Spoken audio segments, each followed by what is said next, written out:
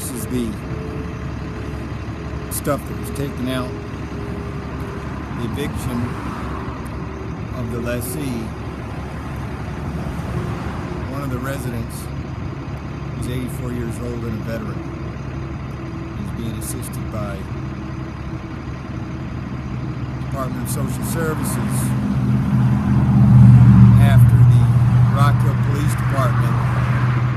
the extra mile to make sure that he was not homeless in the cold.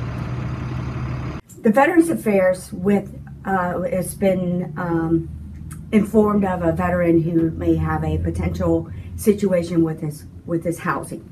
As with all veterans in York County, what we are commissioned and uh, passionate about doing is contacting this veteran, assessing his needs to make sure he's connected to all the veteran, all of the benefits that he's entitled to, as well as reach out to our community partners to provide him the assistance that he might need to get him through this particular time.